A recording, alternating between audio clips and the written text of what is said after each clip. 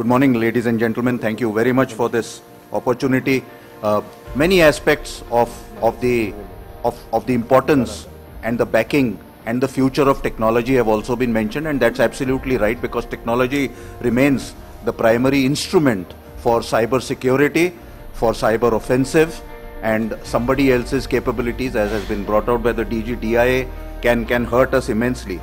Uh, my my my uh, presentation is really uh, on the human on the aspect of human beings uh, as the essential foundation as well as the instrument of cyber security which has been alluded to already. And uh, uh, it is for that reason that i have used the title for the paper i have uh, sent what i as a sailor um, you know learned decades ago that loose lips sink ships. Why prudence matters most for cyber security uh, the unsaid thought of loose lips sink ships is the need for prudence. And this is my first and overarching proposition. That prudence in an individual means that you are cautious about what you speak in the context of where you speak. And when I say speak, you know, in a figurative way, whether whatever we write, whatever we hear, everything include, is included in that. It, is, it encompasses the need to build an attitude of caution in ensuring security of information that has to become second nature.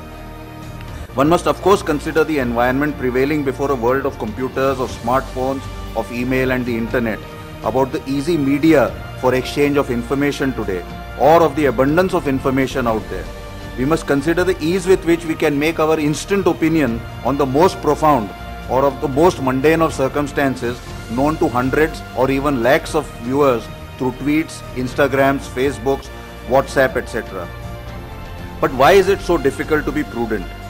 Why is it that, that children in school using email and smartphones are willing to share some things about themselves, their feelings, their pictures, etc. with large groups, but always cannot confide in their own near and dear ones within physical distance? Why is it that larger groups of college friends, alumni associates, military academic batchmates, etc., drop their guard in the cyber world despite all the prudence we observe while we, we were in uniform? Uh, prudence becomes a casualty for several reasons in my mind. One could be that there is a perception of friendships that can be measured in the number of friends rather than the depth of those friendships. How could young people, older people in positions of authority, even national leaders, not be occasionally swayed by their seeming worth measured in numbers of followers? But in the cyber world, is leadership or followership a very useful measure anyway? How many virtual friends are friends how many virtual, often faceless followers will actually follow anything we have to say and even lesser what we may ask them to do. But sometimes even that happens in a dangerous way. How many likes to a post does it take to make a young school going child's day? When does a decline from 100 likes to merely 40 likes after a few days lead to the onset of depression? What makes slightly sad or depressed young people sign on to sinister games like Blue Whale, what is meant in our emotionally isolated worlds for young people to have a whale of a time?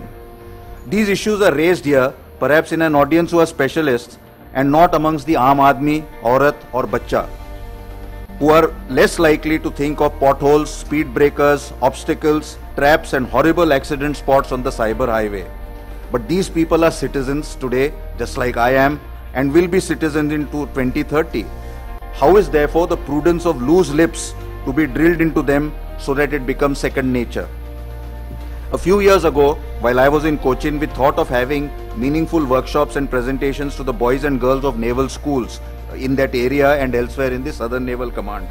In asking relevant people to convey to them the problems on, on the cyber highway, I felt I was myself as a disadvantage since I wasn't a user of most of these things which the children were using. Uh, and before that job as, you know, before that job as chief of staff, I had been ACNS intelligence, just like General Khandare is saying about, you know, his own personal uh, views. Um, and was aware of cyber security, vulnerability and countermeasures to an extent greater than many others. Yet I did not have a smartphone, nor a Facebook account, nor any personal experience how these things work it seemed to me that their dangers far outweighed their utility in my mind, which was also wrong. Uh, the workshops were popular and received what we hoped was serious consideration by school children. The underlying theme was prudence. These interactions were then repeated with parents because they needed to understand even more. Just like what our seniors and those posters in ships and barracks did for us, the parents needed to educate their children in the virtue of prudence. It is difficult to say how well these messages were absorbed, how long they would last, or how well they might serve in keeping children safe in their own futures. And the linkage of individuals being safe to institutions being safe to a society being safe and a nation being safe are all linked in that hierarchy. So it, it is very right that the Center for Knowledge Sovereignty itself has invited school children and principals and other teachers here. It is my belief that once prudence is internalized, once it becomes an attitude, it matters little if the medium is an old phone where you rotated a dial with a finger in the notch or a send symbol on a smart device or keyboard with virtually instant connectivity. And this is my second proposition that before you press send, count 10. It's, it's absolutely important. And we must remember, of course, that in the earlier days, calls often cost money if on a personal phone. And therefore, there was this element of probably an, you know, subconsciously thought of element of fiscal prudence. Today, using, using all this just doesn't cost, all, it, it is almost free and, and that, that creates its own problems. Just like digital photography has reduced our competence with cameras, it has reduced prudence with cameras. The third proposition is that as a society as, and as individuals, the quantity of communications have led to a decline in quality. I won't belabor that uh, you know point, but but to say that that the sheer quantity is is just so bad uh, that it is affecting quality, quality of thinking itself and and just because a society or people are very active on social media it does not mean they are really contributing to the society and the above three propositions can go into a fourth and final proposition that is society and citizenry that educate and train themselves to be prudent in decades ahead could be better poised to protect themselves collectively as a society. Citizens have first to learn better to protect themselves as individuals. And therefore, at a grand strategic level, it's been already mentioned, see how China is preparing for a more secure cyber future with its own satellites, its own version of GPS, its own softwares, its own safeguards, its own cyber companies, national, national as well as multinational. In all this, China's growing capa capacities on cyber offensive are also something we need to think of.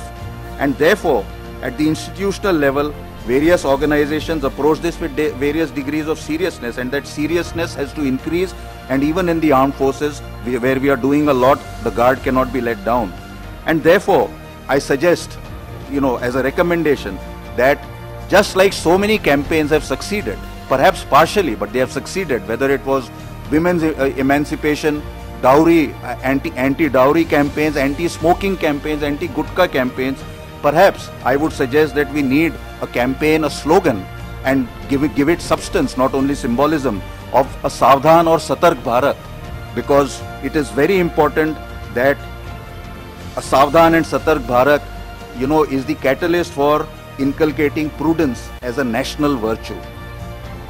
And therefore, the ship of state is as vulnerable to cyber security threats as are individual citizens of all ages. Increased prudence could be the key so that no ships sink because of loose lips. It is useful to think of each citizen as a shipmate in this ship of state. We can do more, but I don't think we can do less.